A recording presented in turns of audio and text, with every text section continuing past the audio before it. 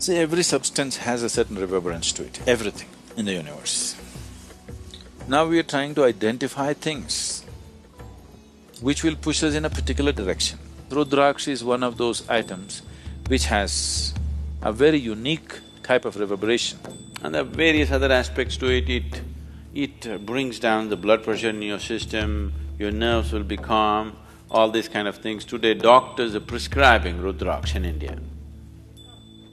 For hypertension, cardiac ailments, doctors are actually prescribing Rudraksha because it has a certain reverberation which calms the whole system. The main purpose is to make you available to grace.